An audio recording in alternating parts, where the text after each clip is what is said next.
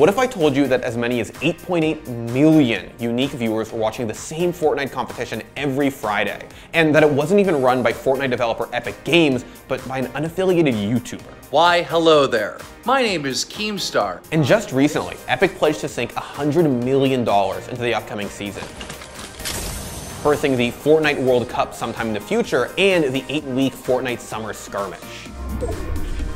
Whether it's esports or not, this shit is popping off.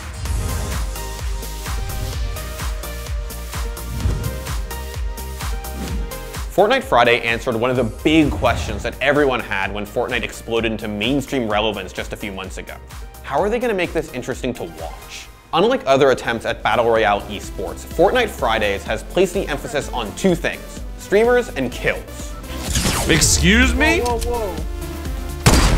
I'm Dr. Lupo, I know how to snipe. The whole thing feels as much like a reality show as it does a major esports event. There's as much focus on the memes, the highlight plays, and the spectacle that Fortnite has become on Twitch as there is on who wins and who loses. Can he survive at the finish line? Got and it. Nick A30 will Oh my stay goodness! up.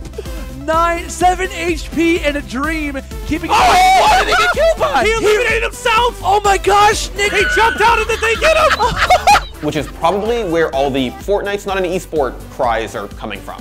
But the answer to that question doesn't really matter. The bottom line is that people are competing, and millions of eyes are on them.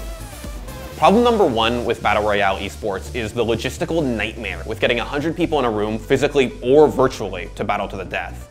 The second big problem is how you make that interesting for viewers without boring them to death or giving them a seizure. It's crazy. I'm like, how does his brain think that fast? What? Oh my gosh. This is insane. This Look is at that. What popular YouTuber Keemstar and UMG have done with Fortnite Fridays is tune the focus of their broadcast away from the highest tiers of competitive integrity and towards action and entertainment. Here's how it works.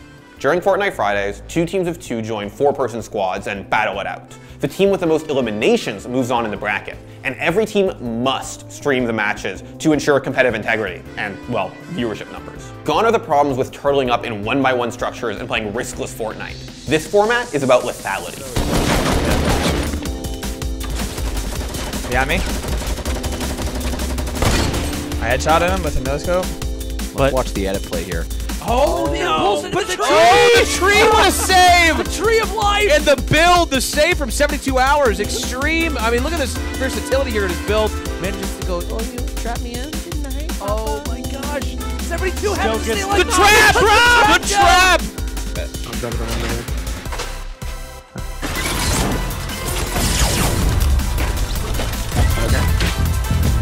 But it's not just Keemstar trying to make the competitive side of Fortnite work. Fortnite's esports origin story starts in the same place that almost everything important about Fortnite starts from, Ninja. Ninja hosted his own event, Ninja Vegas at the Esports Arena in Las Vegas. The event broke Ninja's own record for concurrent viewers on an individual's Twitch stream with 667,000 concurrent viewers. At the time, it wasn't anything new in terms of format. Ninja mostly just applied the PUBG esports format to Fortnite, but like Keemstar does now, he added an emphasis on personality. The event was about Ninja. Players even got a financial incentive if they managed to kill him. But a lot of the on-screen broadcast time was spent on other top streamers too, like Myth. Dr. Lupo was even one of the casters. Fortnite has shown us that these on-screen personalities are what keep viewers watching.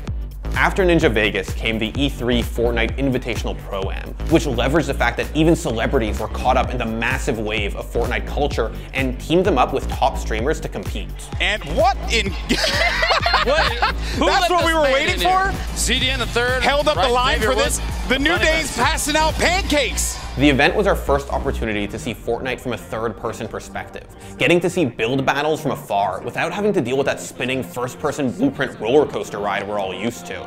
By and large, the event was successful, widely viewed, and even relatively action-packed. And in storybook fashion, Ninja and DJ Marshmello came out the victors. And here you have it, guys. The 2018 Pro-Am Fortnite Tournament winners.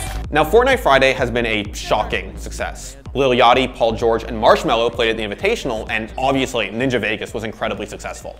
So, is Fortnite the future of esports? Well, it hasn't all been perfect. Let's get back to that $100 million investment Epic is making. It's an exciting number, sure, but the implementation of the Fortnite esports framework has been awkward. I, I can't, I, dude, I can't even move, bro.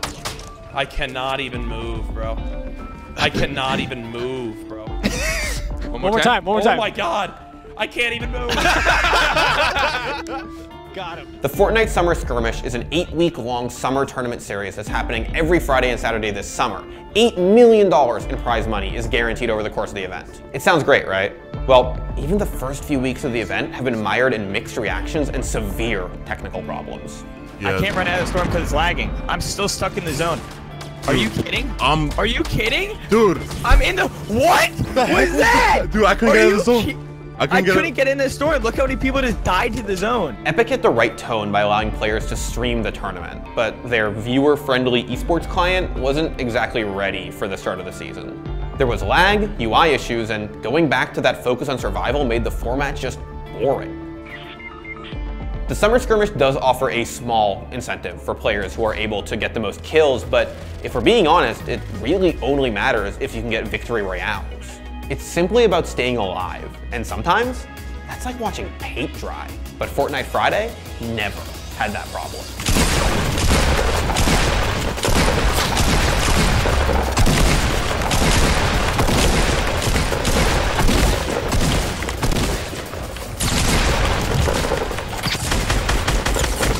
I think at this point, it's pretty hard to argue that Fortnite's not well on its way to establishing itself as an esport. But it is easy to argue that there's a long way to go. Pro players are literally trying to queue up into a lobby all at the same time in hopes of getting an effective scrim.